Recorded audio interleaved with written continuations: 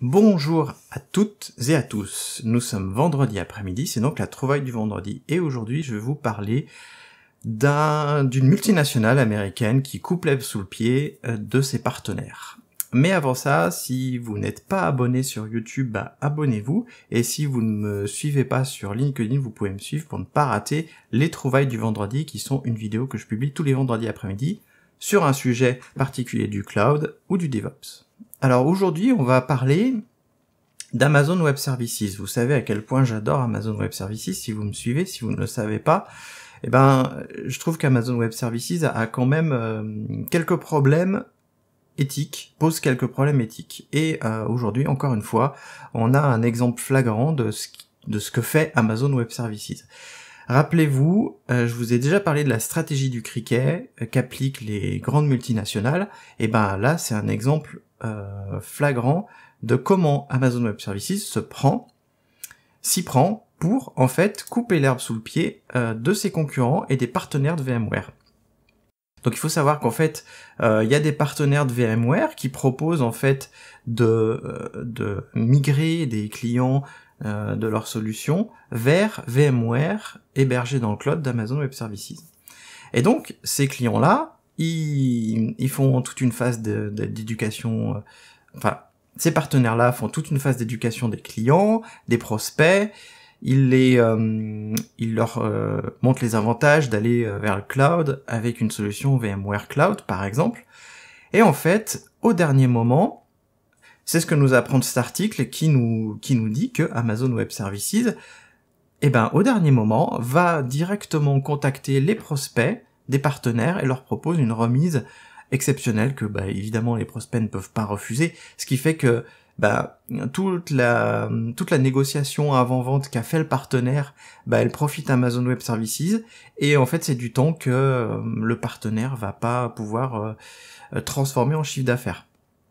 Ça, on est clairement dans la concurrence déloyale puisque Amazon Web Services a les coordonnées clients dans ses bases et a priori sait qu'il y a une négociation en cours. Là, on parle quand même de contrats à 7 chiffres, hein, c'est pas des petits contrats. Euh, c'est pas des contrats à quelques milliers d'euros, non, non, c'est des contrats à plusieurs millions. Donc je trouve ça assez éclairant sur euh, les, les techniques qu'utilise Amazon Web Services, qui sont les mêmes techniques qu'utilise Amazon. Je vous en ai déjà parlé, mais Amazon utilise la même technique, c'est-à-dire que ils, savent euh, sur leur plateforme de marché quel produit se vend bien, et les produits qui se vendent bien, ils les proposent directement à un prix défiant toute concurrence pour couper l'herbe sous le pied des partenaires qui utilisent la place de marché. Donc, euh, faut pas s'étonner après que Amazon Web Services prenne une part euh, comment dire de plus en plus grande dans le cloud.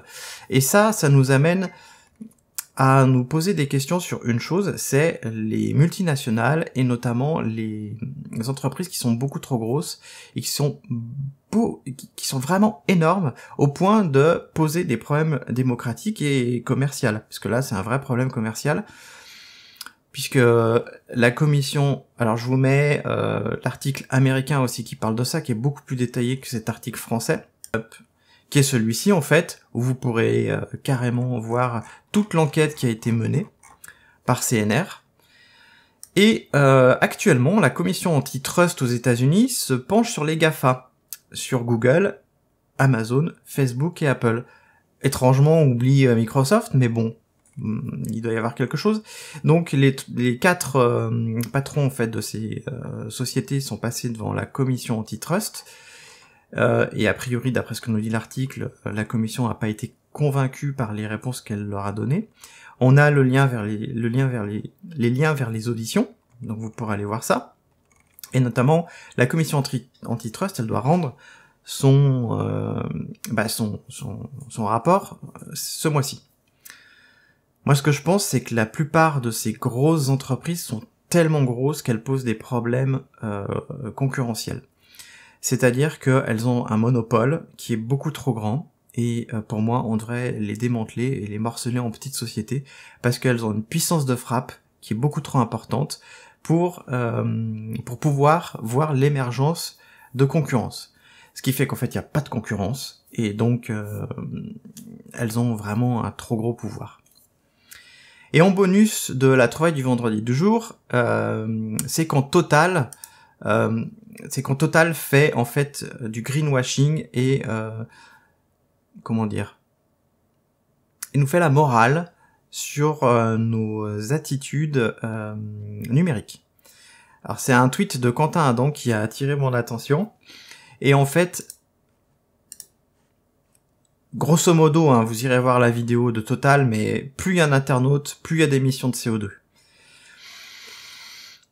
Voilà, c'est Total. C'est l'une des entreprises les plus polluantes au monde, qui ne se pose pas de questions sur son business model, mais qui va euh, nous euh, nous parler de nos attitudes à nous. Alors ça, ça, ça c'est pas nouveau, hein, parce que hum, les politiques et beaucoup de beaucoup d'entreprises nous renvoient à notre responsabilité individuelle vis-à-vis de l'écologie.